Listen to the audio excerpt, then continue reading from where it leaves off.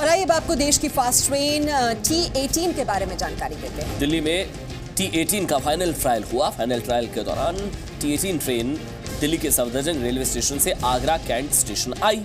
और इस दौरान ट्रेन 18 की रफ्तार 180 किलोमीटर प्रति घंटा रही।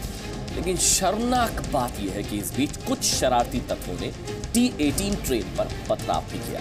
जिससे टी एटीन ट्रेन की खिड़कियों के शीशे टूट गए। हालाँकि रेलवे पुलिस ने पथराव करने वाले आरोपियों को जल्द पकड़ लेने का भरोसा दिलाया है।